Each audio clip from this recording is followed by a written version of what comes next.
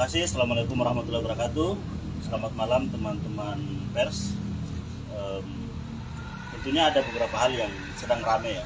Tadi bahwa misalnya Pak Anies sudah keluar ya Pak Anies ke mana-mana ya. Nah, jadi yang pertama soal Jawa Barat.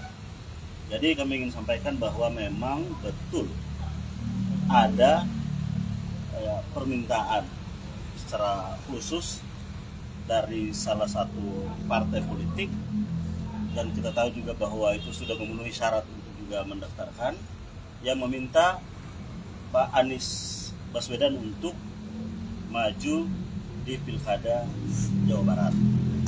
Namun memang Pak Anies sedang mempertimbangkan itu secara serius dan ya kita tunggu aja eh, seperti apa nantinya keputusannya.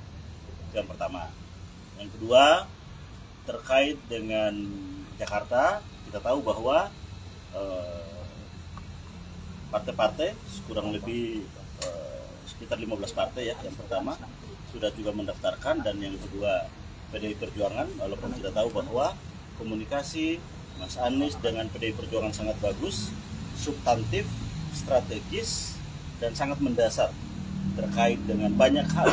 Tentunya eh, garis perjuangan partai juga eh, dasar-dasar pikiran Bung Karno baik itu soal bangsa eh, juga soal Jakarta khususnya politik tata kota kelestarian lingkungan bagaimana program tentang warga.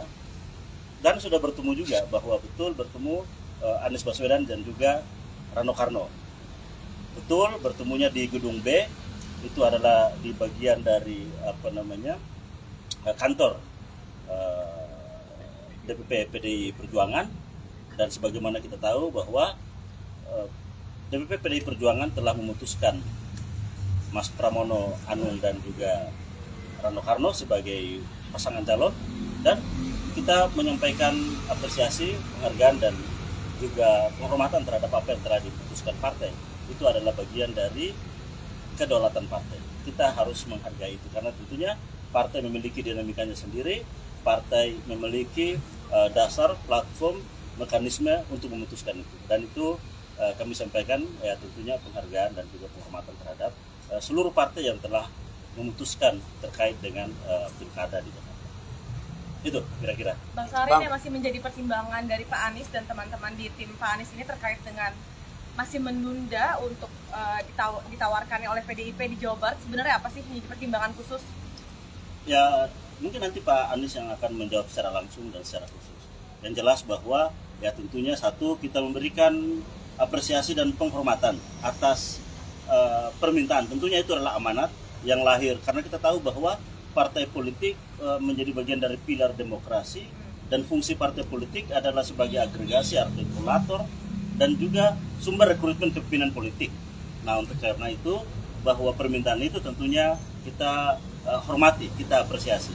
Namun untuk pengambilan keputusan ya tentunya kita harus menunggu eh, apa yang menjadi pertimbangan, apa yang menjadi keputusan dari Mas Anies. Bang, apakah sampai pukul 23.59 nanti ada kemungkinan Pak Anies dijabar atau memang sebenarnya sudah menolak dari Pak Anies sendiri?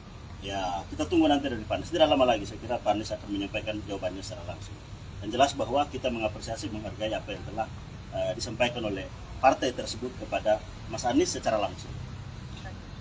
Oke, Bang, Oke, clear? Eh, kemarin itu ada aturan ternyata kalau misalnya partai politik itu bisa mengajukan D1 KWK itu kepada dua paslon. Nah, ini berbicara di Jakarta. Nah ini apakah ada tawaran juga dari partai politik yang sudah mengajukan paslon untuk bisa nih untuk mengajukan lagi untuk Pak Anies gitu Eh, Jakarta? untuk Jakarta belum, yang ada adalah Jawa Barat. Oleh satu parpol atau dua parpol kalau di Jawa Barat? Ah, nantilah, saya kira nanti akan di secara jelas. Dan jelas bahwa ada partai politik yang meminta Mas Anies untuk eh, masuk di Pilkada Jawa Barat. Nanti penjelasannya lebih lengkap ya kepada karena yang menerima tawaran itu kan Mas Anies. Oke.